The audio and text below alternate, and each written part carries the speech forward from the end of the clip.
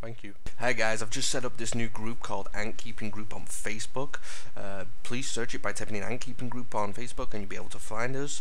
Uh, we have 107 members and we're growing and I want to try and get as many people over to it as possible. We're going to be sharing information about ant keeping. People can post pictures, videos, there'll be competitions on there and giveaways eventually. Uh, also, it's going to be pretty fun guys, so you know, jump onto Facebook and join the Ant Keeping Group and share it with your friends. Hey guys, it's Ant-Man UK here. Hope everyone's doing well. I'm sorry it's been such a long time since I last did my last video. It's been approximately about three weeks. Uh, the problem is I've been having is that because it's early nights now, I finish work at half past four at p.m. and I get home from work and it's dark. And with it being dark I don't have sufficient lighting to do my recordings with my close-up and stuff so it was diff difficult. So I waited patiently for a weekend and this weekend I wasn't too busy so I managed to get the setups up and running and get some recording done for you guys. Um, Unfortunately, I was looking through all my test tube setups of the Lasius Niger Queens, all the ones I caught from the natural flights, and a few of the few of them have passed away, unfortunately, and some of the first worker ants that was with some of the queens have however, I'd say about 20 to 30 of the test tubes are still okay. I've not managed to check all of them to make sure they're all okay, but I'm hoping that um, after winter we'll have some of them that are still fine which I can move into a setup which I plan on doing after Christmas. I want to try and make a natural terrarium which is going to be really cool. I'm going to probably make a video of me making it. Obviously I'm going to hide away from the camera as usual because um, I've sort of thought to myself if I'm gonna show my face it'll show my face when we get to like 500,000 subs. That'll be the goal. And then uh, I'll do a face reveal for you guys. That should be quite interesting. And then you can say see if the voice matches the face. Um, but uh, anyway, some of these uh, Lasius Niger Queens are doing pretty well. Here's one of them at the moment with her first worker, and she's got a lot of pupae and larvae and eggs in her. She's doing really well. The only thing I'm a bit concerned about is that they're not slowing down. Now, when I checked up on them and I realized, oh, have I been a bit stupid? I have a box, right? A big cardboard box. And it has every Lasius Niger queen I caught during the nuptial flight stored in it.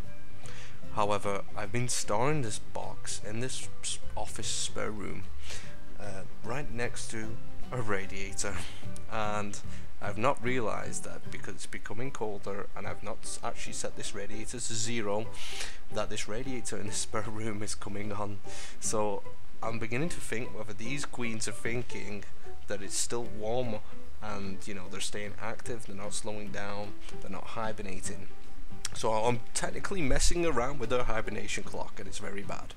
Um, so I could either do two things. I could move them to somewhere else that's colder in the house, probably the kitchen or the probably another room in the house where it's a bit colder so they'd hibernate. Um, I'll just move them away from the radiator. Uh, but yeah, they seem to be quite lively, even though it's the winter months. On the other hand, the Messor barbarus colony Speaking of that, I'm going to be restarting up the live stream this weekend, guys, so stay tuned for it. The Messor barbarus colony is going back on live stream.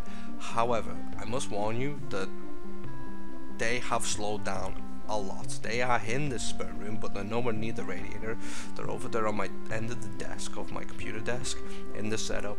Um, but I will be putting them back on live stream, and it, it's it's cold, so they've slowed down a lot. I'd see these they become a little bit active around lunchtime onwards um, for a bit of feeding and drinking, but um, the live footage is going to be a bit slow. They're not going to be moving much. You'll probably just see them uh, like just sitting there chilling. Um, yeah, but a lot of these Lasius Niger Queens are doing pretty well. This is still the same queen. I would move the position of the test tube just so we can get a brilliant look at her. You can see it's like a golden glare off her from the lighting.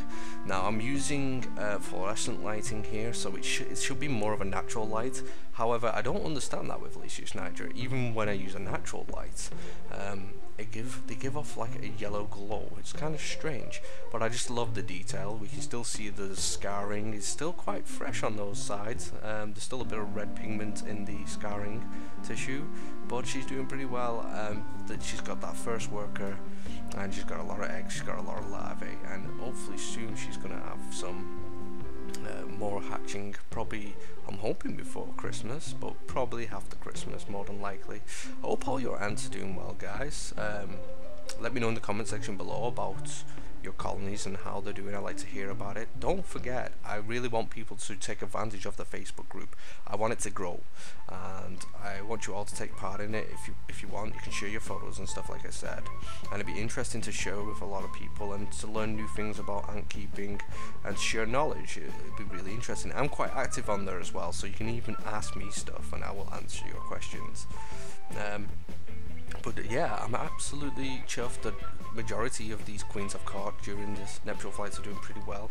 I'm a bit sad about some of them that have passed away, but you know it does happen. We uh, we know this from experience that not all colonies are gonna you know rise to success, and a lot of them you do lose in the early stages.